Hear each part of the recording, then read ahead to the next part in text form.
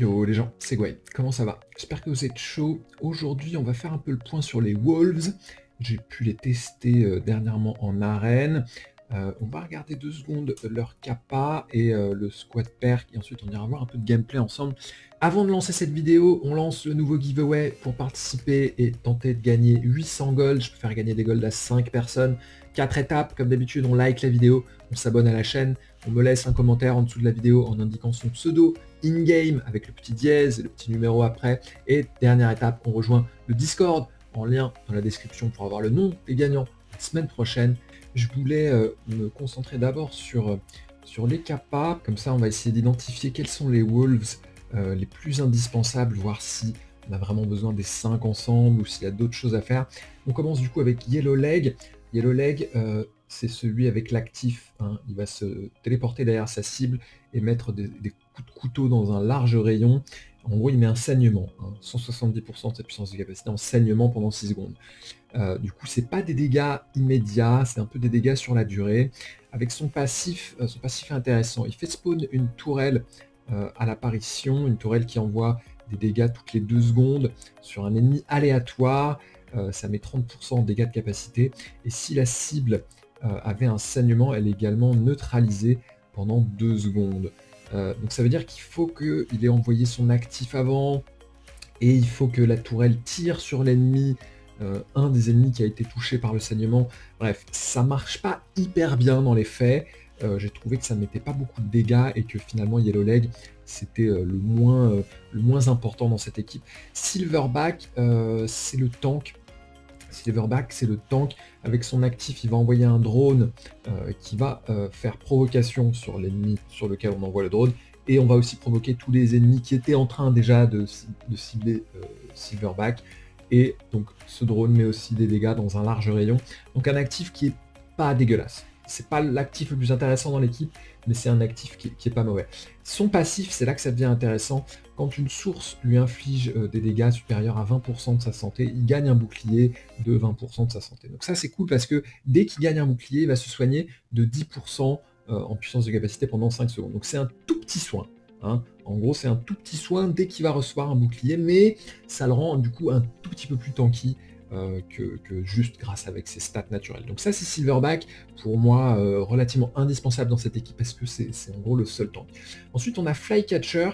Flycatcher qui est euh, le deuxième meilleur tank de cette équipe au niveau des stats. Au niveau des stats purs, euh, c'est lui qui a les meilleurs HP, meilleure armure après Silverback. Donc ça va être un peu l'off-tank de cette équipe et c'est celui qui a la capacité pour moi la plus importante parce qu'il va mettre le bouclier hein, sur toute l'équipe grâce à son actif, 40% de sa puissance de capacité en bouclier sur toute l'équipe et au bout de 5 secondes, on réapplique bouclier euh, à la hauteur de 25% des dégâts infligés pendant les 5 secondes donc ça, c'est plutôt bien parce qu'on a bouclier sur toute l'équipe, puis rebouclier au bout de 5 secondes.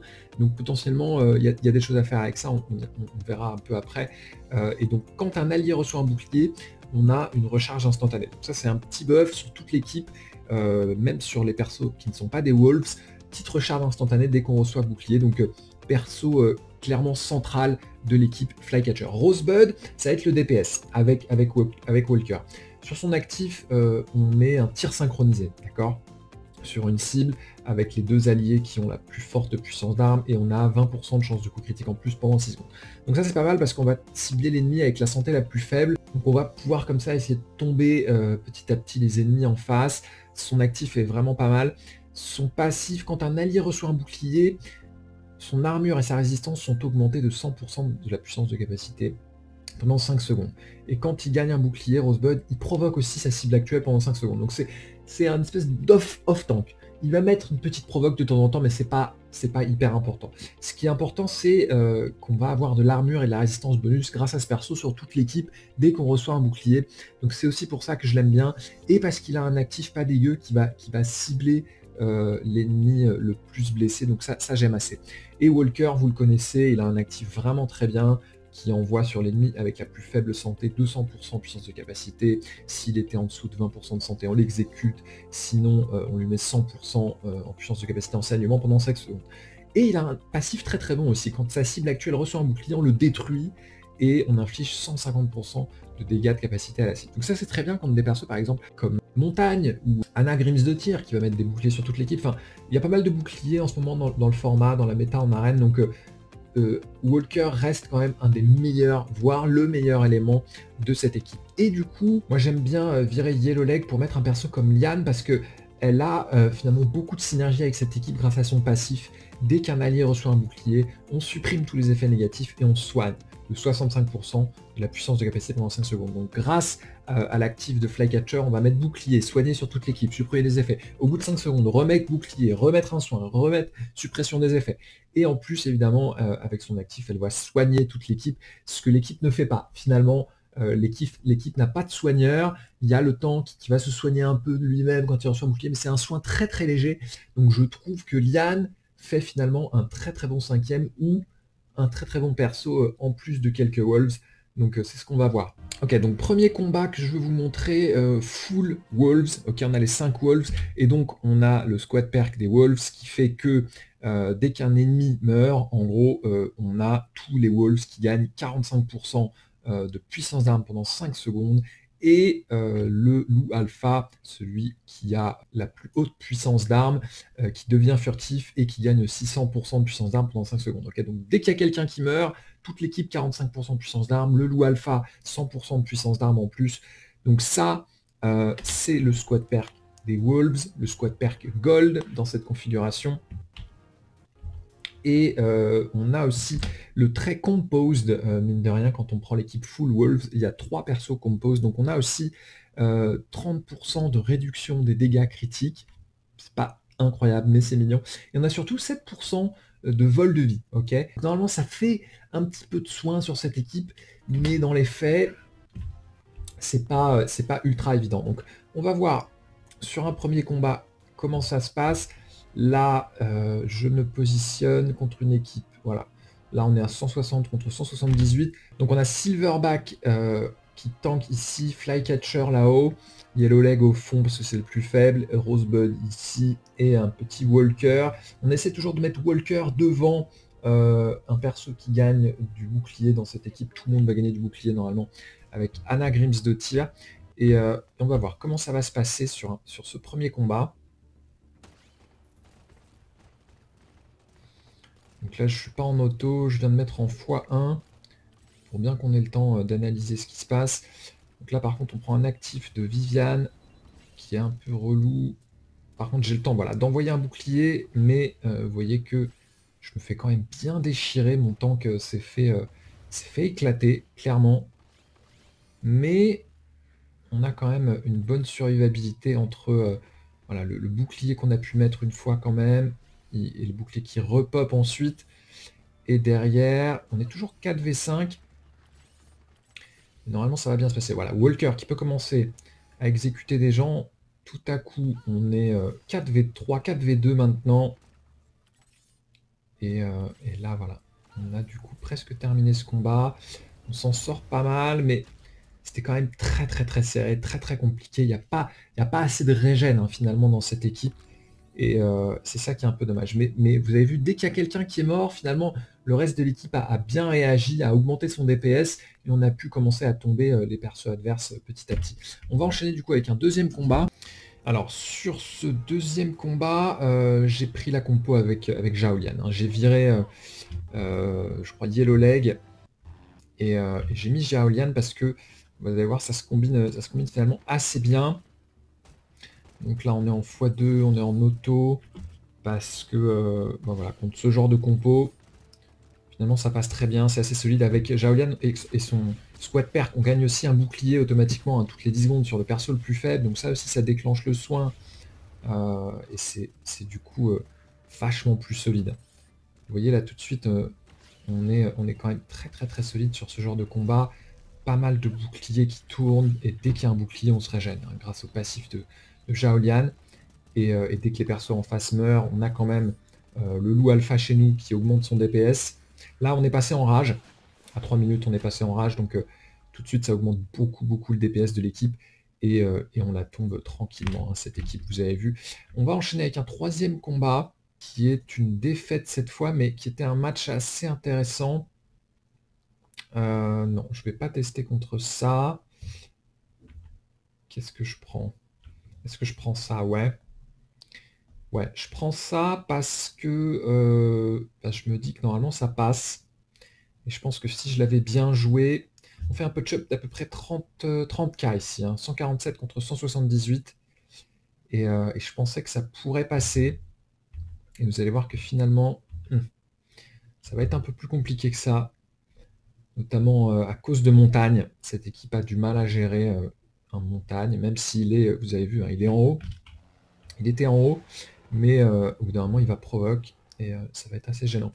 Alors, le combat se lance, et qu'est-ce qui se passe? Donc là, j'ai mis en 2x, j'ai enlevé le mode auto, parce que j'aime pas trop euh, quand, quand c'est Silverback qui envoie son actif tout de suite, il n'y a pas besoin. Mais vous avez vu, là, finalement, il tank assez bien. Il y a le, le passif de Jaolian qui a envoyé un bouclier. Par contre, là, voilà, il commence à se faire défoncer. Ah, et là, ça tombe et on n'a pas, de, ressuscite la personne qui ressuscite. Par contre, on a un actif de Walker. On peut tomber un peu la Coda. Et malheureusement, on commence à prendre un peu cher. On a Jaolian qui peut envoyer un premier soin. Euh, qu'est-ce qui se passe? On a encore euh, Flycatcher, je pense, pour, pour envoyer un actif, mettre des boucliers. Voilà. On a enfin l'actif de Flycatcher. Ah, par contre, euh, on a Walker là-bas qui s'est fait défoncer. Ça, c'est très dommage parce qu'on était 3v5. Là, on va passer on va passer 3v3. Par contre, voilà, je suis bloqué derrière montagne. Par contre, on passe en rage. Là, on est à 3 minutes. Là, du coup, ça commence à faire très très mal. Euh, moi, j'ai mes boucliers qui pop, j'ai des soins qui pop. On est 3v3, mais là, voilà, on passe en super rage et euh, je viens de prendre un actif de, de Buck là-haut, euh, petite grenade, je me, suis fait, défoncer trois persos. On manque un peu de DPS quand même dans cette équipe. Et là, je teste un dernier match contre une équipe un peu compliquée. Hein. Vous avez vu, il y a Fischer et Anna mais je me dis que l'équipe est quand même prenable parce que il euh, n'y bah, a, pas, a pas de soigneur. On est en full, on est en full Wolves sur celle-là. Donc je voulais tester hein, pour voir un peu les limites de l'équipe des, Wolves au complet aussi. Donc on a euh, normalement du buff hein, dès qu'il y a un perso qui meurt, tous mes persos euh, gagnent un, buff, un buff de dégâts sur leurs dégâts d'armes. Ils ont le drain de vie. normalement, il y a des choses à faire, surtout que là on met le bouclier sur toute l'équipe. Par contre, on a un actif de Conley qui est parti. Par contre, elle se fait défoncer par euh, euh, Walker. Euh, Wang a envoyé son actif, m'a fait beaucoup de dégâts, mais par contre, il y a, y a Fisher là qui va commencer à envoyer. Voilà, j'hésite un peu sur comment replacer mes gars. Voilà. Et du coup, là, on est 5v4, on n'est pas dégueu, mais on a, on a l'actif de, de, Fisher qui va partir. Et ça va être, ça va être très compliqué. Ça va être très compliqué. Euh, voilà, son actif va partir, je vais commencer à perdre un perso ici, deux persos là, presque trois persos sur cet actif de Walker, donc c'est très très douloureux.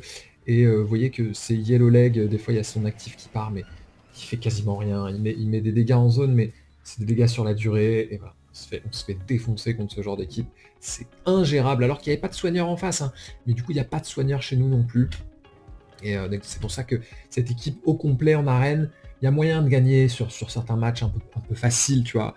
20, 20, 24 puissance, il y, a, moyen de gagner contre, certaines équipes. Mais euh, l'équipe manque clairement de, soins. Euh, il y, a, ce bouclier qui va, qui va pop, qui va, qui va, qui va repop au bout de 5 secondes grâce à, grâce à Flycatcher qui est très très bien. Et c'est pour ça que je pense qu'il faut le combiner avec Jaolian. Mais dès qu'on n'a pas, ouais, dès qu'on n'a pas Jaolian, euh, on manque cruellement de soins, et dès qu'on met Jaolian, on manque de DPS.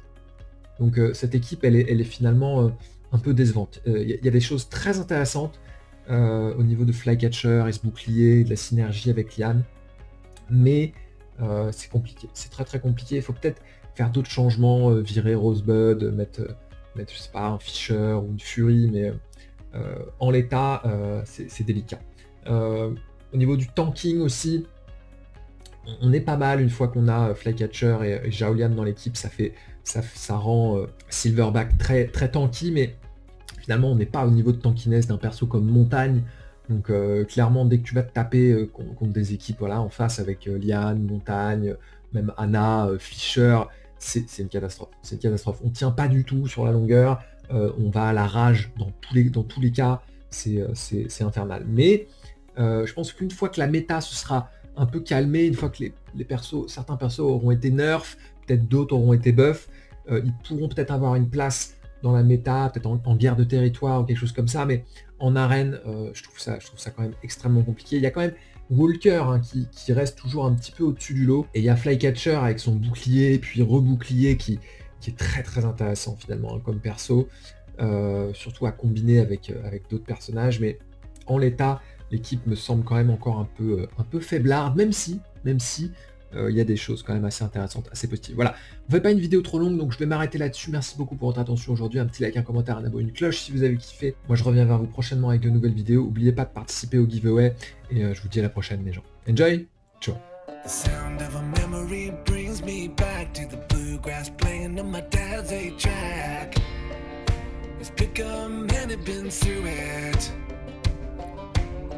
the day on scrugs and skags, bucking eight bells to those Tennessee jams. There's no